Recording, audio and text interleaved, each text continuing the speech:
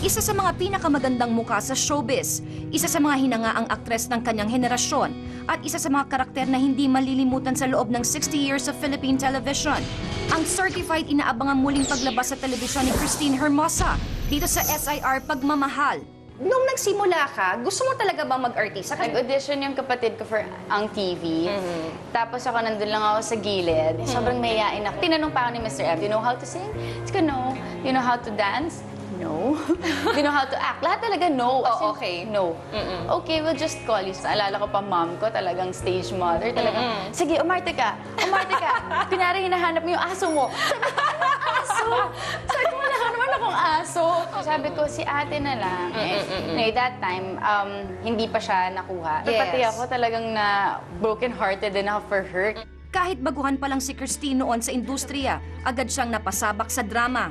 Sa sandaling kailangan mo ko, yun yung first drama. Oh. Miniseries pa lang yan eh. Yeah. So wala pa talaga nun yung mga talagang super duper teleserye. Correct. So doon kami nagkasama-sama nila Piolo, nila Marvin, nila ah, Tessie Tomas. Actually, sobrang struggle sa akin yun. Pagka pinaiyak nala ako, ang tagal kong maiyak. Pag pinaiyak nala ako, ang tagal kong tumahan. Tsaka yung, yung age na pinoportray ko kasi that time, ilang taon ako noon? Um, 14?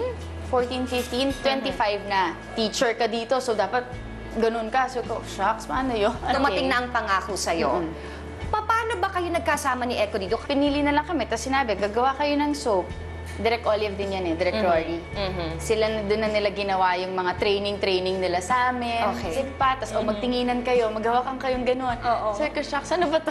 Ang kwento ni Ina at Angelo, pati na rin kina Amor at Claudia, tinutukan at minahal rin ng mga manonood sa mahigit 14 countries, kabilang ang Malaysia, Indonesia, Singapore, China at Africa. And earlier this year, naimbitahan pa sina Jericho at Christine sa 10th anniversary ng isang network sa Cambodia, kung saan inere din ang serye.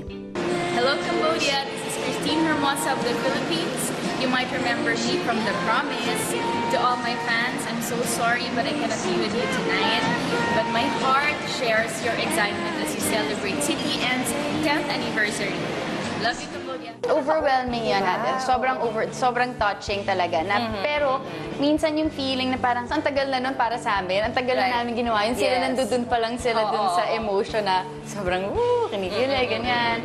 Sobrang thankful kami. Talagang ginamit din kaming instrument to, to touch people's lives. Pa- paano ba nabago yung pangako sa'yo? Yung, yung ikaw, sa, sa buhay mo, Siyempre, mas nabuksan yung mata ko kung gaano yung responsibility na talagang pag nag-commit ka, dapat talaga buong ikaw, buong Yes. puso mo talaga, you're gonna give it all. sanay mo na ng wakas. Love triangle naman. We had to tape yung ano nga, dalawang Correct, ending. oo. Nagkaroon ng botohan. Ah, talaga? So, eh parang pareho. So, kailangan namin gawin na So, pareho teka na lang. muna, so pinalabas pareho na pagbigyan ninyo lahat ng fans. Yeah. So, team, masayang ano? masaya silang Masaya, lahat. oo, another experience Ayun, na tapos naman yan. nako-compare nila yung ending. Na, Ah. syempre, alam mo naman ng mga fans. Yes. diba? Mas may ningning yung mga mata niya nung Oo, oo, silang oo. dalawa ni ganito. Correct, ko, correct. Talaga Oo. naman.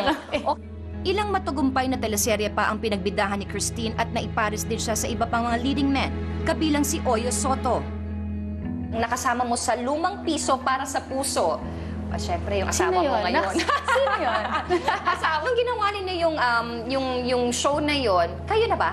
may kilig, at saka kasi friends kami. Mm-hmm. So, alam mo yun, parang kahit ano pwede napapag-usapan namin. Correct. Oo, So, fun. Fun na makasama yung MU mo, ka-MU mo. So, hindi kami talaga naging Oo, boyfriend-girlfriend. so, Oo, pero MU since naman friends kayo, so magkakilala na kayo. Oo, so bigla na lang siya nag-propose ng, will you marry me? Miss ko, ha?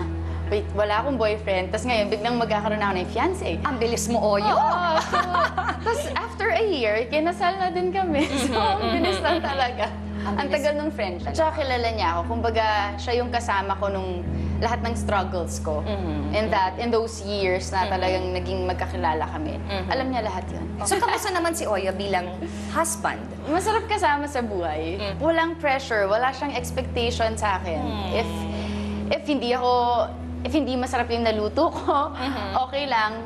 very appreciative. Ganun siya. Yung pinapalakas niya yung loob ko na sweet siya in his own way. Hindi siya predictable. Nandito tayo ngayon sa restaurant ninyo, ang The Farm, dito sa may Alabang Hills. Ito ang new business nyo ni Oyo. Kasi dati pa lang kami ni Oyo, hindi pa kami lovers, friends pa lang kami. friends, okay. friends pa lang. Nag-uusap na kami na eventually, ano kaya pwede nating itayong business? So medyo naging into fitness kasi kami. In-invite kami ng partners namin ngayon mag-put up ng business na organic. Sa loob ng dalawang taong pagsasama ni na Oyo at Christine, nabiyayaan sila ng dalawang anak, ang 5-year-old na si Kiel at ang 19 months old na si Andrea. Mga They're both bata. very sweet. Pakalambing. Ah, si Kiel, gusto niyang lagi siyang nilalambing. Tapos parang nakukuha niya yung satisfaction pag ako yung gumagawa ng lambing na yun sa kanya. Kasi pag sila ni Oyo, iba yung bonding nila eh. So, pang lalaki. Correct. Mga basketball, basketball sila or soccer, ganun. Tapos si Andrea naman, ganun din.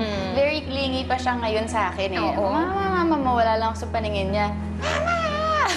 Kamusta naman yung relationship nilang magkapatid? Kuyang-kuya siya. Pag nagkakalat si Andrea, Andrea, you're making a mess. Tapos gano'n siya, yung maglilinis, gano'n. Or naaasahan, maaasahan si Kiel, responsible. Kailan ka ba namin mapapanood ulit on TV? Oo nga. Na- ano bang hinahanap mo para makabalik ka ulit? At Something different. Ah, yung, tsaka yung hindi ko masasacrifice nga, like I said, hindi ko masasacrifice yung time ko for my family, for my husband. Yung, maliliit pa yung mga kids, Yes. madaling lumipas yung age nila. Eh, talagang ang priority mo talaga ay ang pamilya mo, mga anak mo, and then susunod na yung work. Yes. Bakit nabago yung mga priorities mo now that you have your family? Bakit kung yung dati sobrang active ka sa sa career mo, yung talagang yun ang yun ang priority mo dati. So, bakit nabago lahat yung mga yun? Um, I think kasi nasa puso ko na dati pa lang talaga na gusto ko magkaroon ng family on my own. Gusto ko ng husband, gusto ko ng kids. Pag nasa puso mo, pag nakikita mo siya na yun ang mangyayari sa'yo sa future, di ba? Pag may goal ka, Oo. di ba? Yun yung aabutin mo eh, di ba? Mahal ko yung pamilya ko and I'm doing my best to be a good mom and a good wife. Showbiz Inside Report!